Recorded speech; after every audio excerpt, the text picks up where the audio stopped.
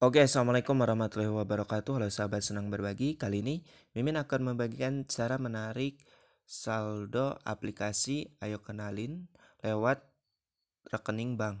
Jadi bebas rekeningnya tinggal pilih. Namun di sini Mimin menggunakan rekening dari bank BCA.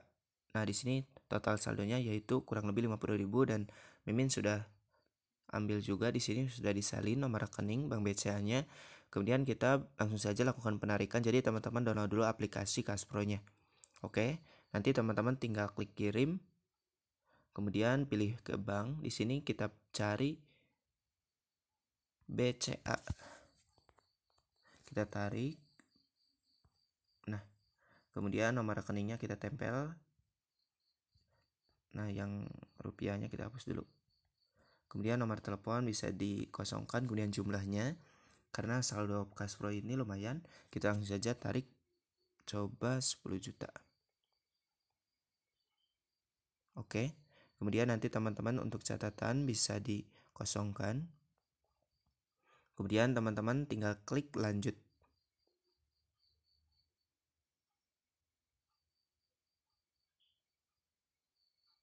Nah, setelah itu nanti teman-teman akan ada biaya admin yaitu 6500 Selanjutnya teman-teman langsung klik mengirim uang. Lalu kita masukkan saja di sini. Oke, sensor jarinya.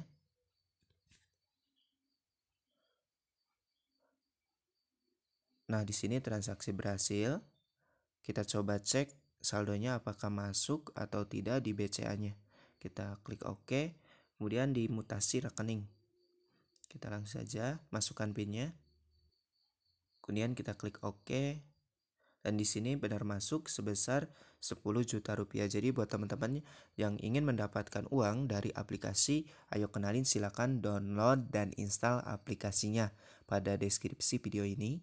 Nanti teman-teman langsung download dari Play Store, kemudian lakukan pendaftaran dengan mengisi tipe akun, kemudian nama sesuai KTP, kemudian nomor HP, email, jangan lupa masukkan kode referral agar teman-teman mendapatkan saldo dari aplikasi Ayo Kenalin ini. Kode referralnya sudah Mimin lampirkan pada deskripsi video ini. Jadi teman-teman wajib memasukkan agar mendapatkan saldo dari aplikasi Ayo Kenalin.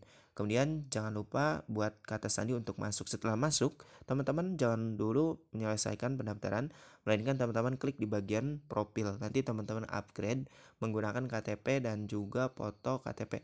Untuk foto KTP silakan bisa di atas kertas warna putih agar terlihat jelas, kemudian foto selfie pastikan jelas juga dan terang.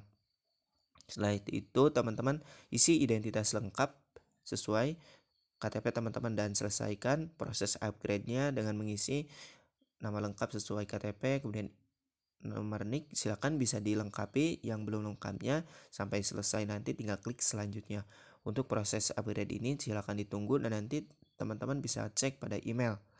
Jika teman-teman tidak kunjung berhasil, teman-teman ulangi langkah upgrade-nya agar teman-teman mendapatkan akun premium dari aplikasi Ayo Kenalin ini dan dapatkan uang dari aplikasi Ayo Kenalin ini. Oke? Mungkin itu dulu yang dapat Mimin sampaikan. Mohon maaf bila ada salah-salah kata. Saya tutup bila itu Wassalamualaikum warahmatullahi wabarakatuh.